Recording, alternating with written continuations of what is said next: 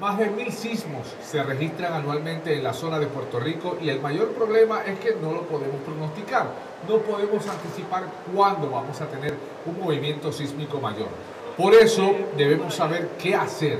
En este simulador de terremotos van a experimentar un movimiento sísmico de magnitud 4.7 y podrás ver qué debes hacer, ya sea estés en tu casa, la escuela o la oficina. Mira, hace, hace una semana eh, sentimos un evento sísmico y solamente los jefes de familia, los jefes de, los jefes de familia sabían, sabían cómo reaccionar, sabían si nuestras familias estaban preparadas, sabían, sabíamos si teníamos nuestra mochila de emergencia y si teníamos nuestro plan familiar.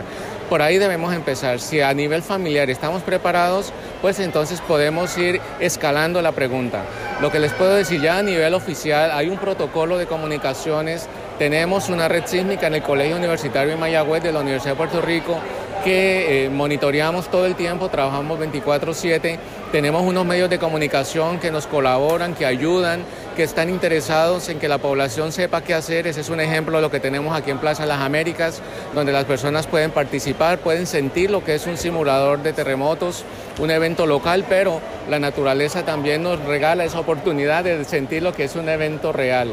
El día de ayer tuvimos un, otro evento en las Islas Vírgenes, así que tenemos esos eventos, son recordatorios de que tenemos eh, fallas, de que tenemos actividad y que tenemos que prepararnos. El tiempo es muy corto. Ya, lo vimos hace más de una semana, cuando la Tierra empieza a temblar, empieza a temblar. El movimiento ocurre sin aviso previo. Lo único que podemos hacer en ese momento es protegernos. Ya hemos tenido que saber qué vamos a hacer. Ya en nuestra casa ya tenemos que haber identificado aquel sitio que es más seguro. Yo ya tengo que haber practicado con mis seres queridos, con mi familia, la mejor recomendación de los expertos, que es el checkout. La próxima semana podemos practicar eso el 17 de octubre a las 10 y 17 de la mañana, un minuto. Es todo lo que estamos pidiendo para que practiquen lo que recomiendan los expertos. Ya vimos en el temblor de magnitud 6.0 que la tierra empieza a temblar sin previo aviso. Lo único que podemos hacer es protegernos de algo que pueda caer. No podemos correr. ¿Por qué? Porque el suelo moviéndose y nosotros también en algún estado de ansiedad, de un poco de pánico, va a ser bien difícil poder reaccionar. Por eso es que hay que practicar.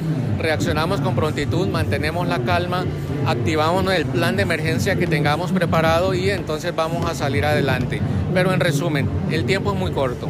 Solamente tenemos escasos segundos para reaccionar inmediatamente, para protegernos, para entonces eh, activar nuestro plan de emergencia. Puerto Rico tiembla todos los días. Es correcto que después del evento de magnitud 6.0 hemos tenido una alta actividad sísmica, pero eso es debido precisamente a ese temblor. Es lo que se llaman réplicas. El día de ayer tuvimos un evento de magnitud mayor a 5 que fue aquí en las Islas Vírgenes. Así que estamos en una zona que es activa. Estos temblores para nosotros no son extraños. ¿Por qué? Porque estamos en, tenemos fallas. Y precisamente esa es la razón, esa es la, como que la naturaleza mostrándonos que esas fallas se están moviendo. Pero de nuevo, el problema no es el temblor, el problema es que no sepamos qué hacer. El temblor está ahí, el temblor ha de ocurrir porque las placas se están moviendo. Lo importante es si nosotros sabemos cómo reaccionar, si nosotros sabemos qué hacer y cómo protegernos.